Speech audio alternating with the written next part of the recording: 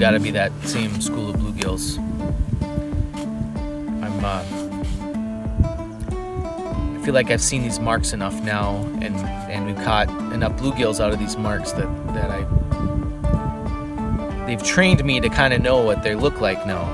I think this is another bluegill.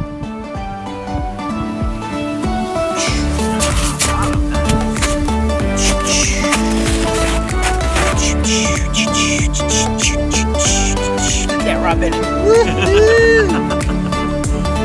Another one of these gills, I'm sure. Yes, sir.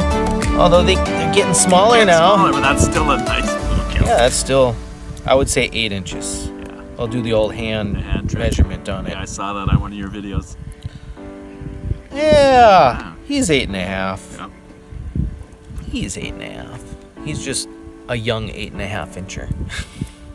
See, how come he sits still when you're cupping him like that, and when I do it, he's trying to get them? There's away? something about holding them like this. I Oh, think okay. when they drape, I'll have to try that. I think that when That- the moment you pinch them is when they start feeling oh, like so that's they. what I was doing right. So you just kind of let that tail drape over. I just kind of like let that. them, let them Okay. kind of. That doesn't that doesn't say they won't.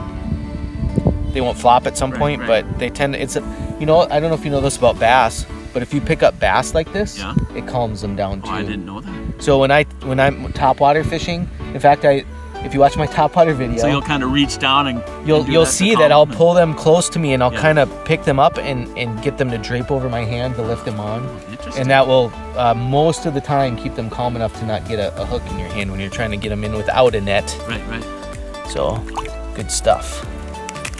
Still got the same spikes on there that I've been using from Yeah, the get go. too. And Izzy's spikes that- are still intact. That tells you how durable those things can be. Yeah. talking about that VMC fly earlier. Pink VMC fly with the two spikes on it. It's been doing the trick. It's a bigger version of the bug that's down here, but that bug had kind of a pink reddish hue to it. Mhm. So that's why I decided on that color. No, it seems to be working. It's working. It's working for the bluegills.